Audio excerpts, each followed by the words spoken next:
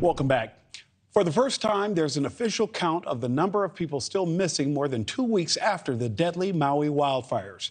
Maui County has released the names of 388 people and is asking anyone who knows of someone listed as missing but is actually safe to contact authorities. These new developments coming as Maui County is now accusing Hawaiian Electric of negligence in the lead up to the fires. News Nation correspondent Joe Khalil joins us live. And Joe, this lawsuit clearly suggests that county officials are looking for accountability.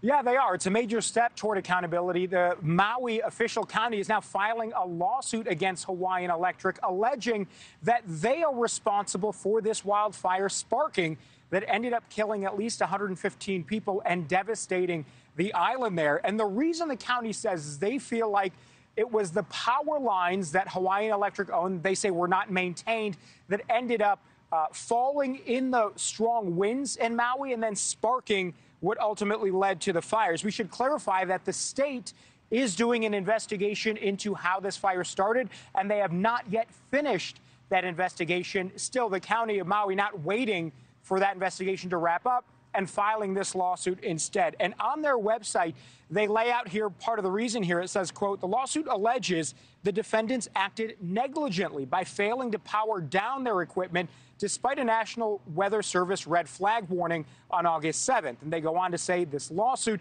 alleges that HECO, the uh, electric company here, energized and down power lines ignited dry fuel such as grass and brush, causing the fires. Now, the reason Hawaiian Electric is in the spotlight at all starts with a video that a man from Lahaina took when the fires first began, and he alleged that his video showed the moment that their power lines did come down and spark in the grass that ultimately led to smoke and then this fire. This is the video that started it all.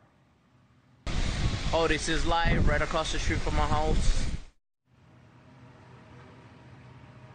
Now, we, we did reach out to Hawaiian Electric for comments. So far, we've not heard back from them. A spokesperson for the utility did, however, tell the Associated Press they were disappointed that Maui County chose to file a lawsuit now while this investigation is still ongoing. Nick, back in 2018, the Camp Fire in California, which was to that point the deadliest in modern history, killed 85 people.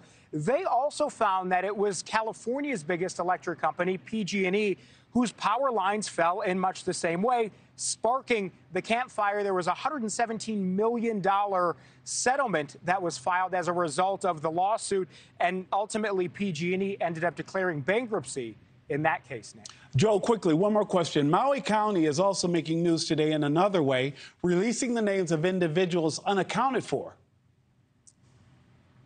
Yeah, that's right. They had not done this up to this point, when we still had some 800 names, they've whittled it down to 388 people who are now still unaccounted for. The FBI put this list together. So now Maui County is releasing all of those names, thinking that it may help if someone sees a name that is a relative that they have contact with, they can contact now uh, the authorities and say this person is not missing, they are with us, hoping to bring that list further down to zero. So we'll see how that plays out, Nick. And Joe, I understand part of the confusion had been multiple agencies have been keeping multiple lists, and hopefully the plan is to combine yeah. those names uh, uh, into one single list. Joe Khalil uh, reporting for us live this afternoon. Joe, thank you. Thank you for watching. Go to newsnationnow.com to find News Nation on your television provider, and don't forget to click the red subscribe button below to get more of News Nation's fact-driven, unbiased coverage.